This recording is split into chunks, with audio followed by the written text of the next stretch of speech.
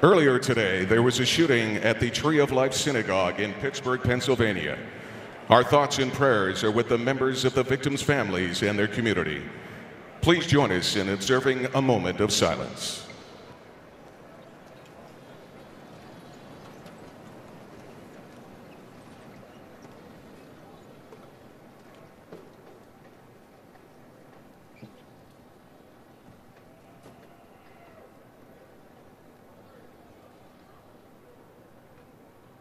Thank you.